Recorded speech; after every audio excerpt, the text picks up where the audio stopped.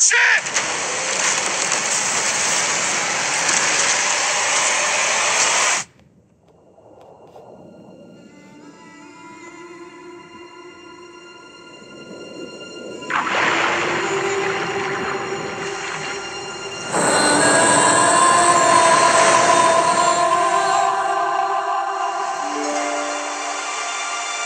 the code, man!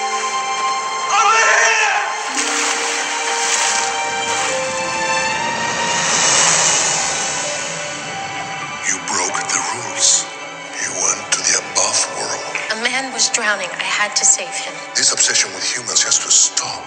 I just want to know more about them. Ariel! Don't! Poor child. I can help you. You can't live in that world unless you become a human yourself. Is that even possible?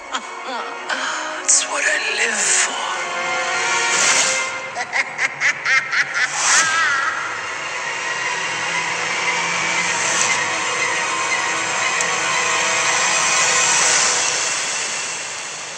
Something about you seems different. I can't quite figure it out. She got legs, you idiot. The Marine Kingdom is real. Do not let anyone lie to you.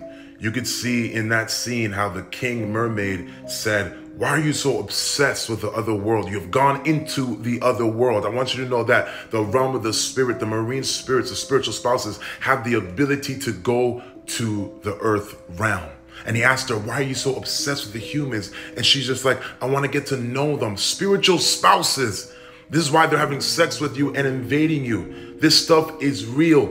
And you can see how the little mermaid got witchcraft, marine witchcraft done in the water for her to become a human. There are some people on this earth that are not human, but they look human. They have the appearance of being human, but they are water spirits. They are marine forces. They are sirens. These things are real. There are entities. I'm telling you, there are people walking the earth today. Disney did not just come up with this. The Starbucks logo wasn't just a random logo. These things are not myths. These things are realities. The marine kingdom is a real world in the realm of the spirit. The Bible calls Leviathan a sea serpent, a twisting sea serpent, a dragon that is in the sea.